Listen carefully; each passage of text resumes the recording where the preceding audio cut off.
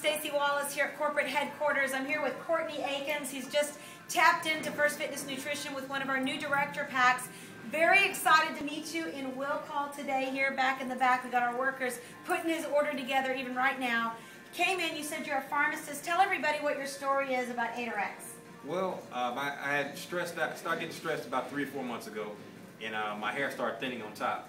Uh, I've been taking 8RX for three weeks now, and my hair is growing back, and it's growing back thick. So you thought you needed Rogaine. You don't need Rogaine, baby. You need 8RX. Thanks, Courtney. Welcome to the team. Thank you.